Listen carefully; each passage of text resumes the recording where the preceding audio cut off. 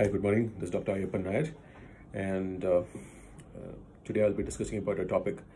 Uh, it's normally a question most of the patients ask me, especially if they have a tear in the shoulder. And uh, the first question most of my patients ask is, Doctor, is there any way other than surgery to fix my muscle tear? So I always tell them it is not that uh, surgery is required for all patients, and I'm very very choosy regarding my uh, surgical option and I don't um, always tell surgery for all my patients. If a patient can be managed or treated completely with a, um, without surgery, then I always do that because nobody wants to get under the knife and always we get the best results in the correct indications.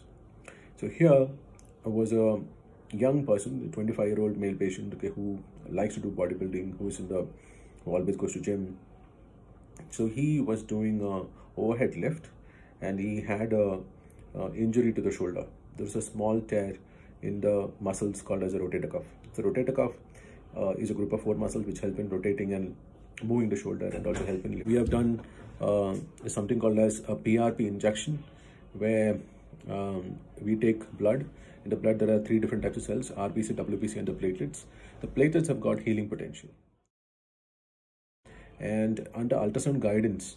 So this is injected. So this blood is taken we isolate the prp so the prp is for platelet rich plasma where the platelets are concentrated to a higher number. This picture shows how the prp is prepared how it is centrifuged. And so that um, we take in a syringe and under ultrasound guidance we inject this into the partially torn rotator cuff partially torn tendon. So this is the this is ideal in traumatic tears, in, in traumatic rather than degenerative tears. And so that means if you have a trauma and if it's a very small tear, definitely there are good results. And um, it is not like all patients do respond to it. Most of the patients, so majority of the patients do respond to this. And in a month time with good therapy, the patients are pretty good and we can manage without uh, surgery. So this is the PRP injection or conservative management for small traumatic tears in the rotator cuff or in the shoulder. Um, you can see this video now where um, you can see the needle being uh, put into the shoulder. On top of the cuff you can see that needle there. That moving thing is a needle. So it is inside the torn tendon area which we had isolated with the help of the ultrasound scan.